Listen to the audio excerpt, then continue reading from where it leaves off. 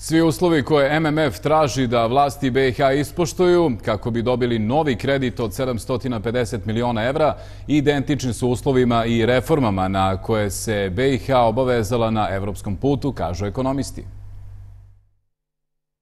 Ako su svi uslovi koje MMF od BiH za kredit od 750 miliona evra traži identični uslovima i reformama koje je BiH obećala da će ispuniti na evropskom putu, zašto BiH vlasti, prije svega vlada Republike Srpske, odbijaju da to provedu? Koliko god nekad sporim ili se svađam sa MMF-om oko politika, u ovom slučaju e, pozdravljam ono što su tražili. Znači, dobit ćete kredit, samo ispunite ono što ste se već obavezali. Nikakvog prenosa nadležnosti mogućnosti nema, e, pogotovo u ove tri stvari, kao što je elektronski potpis, kao što je zakon o energiji i gasu i jedinstveni registar e, računa fizičkih lica. Stvarno, volela bi da čujem obrazloženje da nešto što si se već obavezao sad odjednom ne može, a ovamo se zadužuju po mnogo skupljim uslovima, a neće da, kažu, neće da prihvate nešto što je evo ti pare, evo ti kredit, para treba, a evo samo ispunite evropske uslove, ništa drugo od vas ne tražimo. Kreditor, u ovom slučaju MMF, ima pravo da traži uslove koji garantuju vraćanje kredita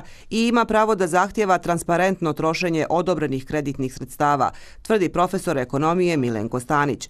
Argumenti vlade Republike Srpske da MMF kroz uslove koje postavlja traži prenos nadležnosti sa Srpske na BiH sporni su, kaže Stanić, po nekoliko osnova. Ti argumenti nisu verljivi iz činjenice da e, se postavlja pitanje kako je to bilo moguće ranije da se napravi dogovor i sporazum, da se uspostavi jedinstven registar računa pravnih lica, da to znači da, da je registar fizičkih lica nešto važniji u odnosu na pravne subjekte, kako je bilo moguće da se uspostavi jedinstven registar kredita i pravnih fizičkih lica. U tom smislu argumenti onih koji podržavaju potpisivanje sporazuma sa Međunarodnim monetarnim fondom su jednako snažni, ako ne snažniji od argumenta predstavnika Republike Srpske. Ti argumenti idu u pravcu da e, je to put da se umanji ili smanji pranje novca i finansiranje terorizma. Profesor Stanić tvrdi da će BiH na kraju postići dogovor sa MMF-om, ali će se umeđu vremenu zaduživati kod drugih kreditora i to po znatno nepovoljnijim uslovima.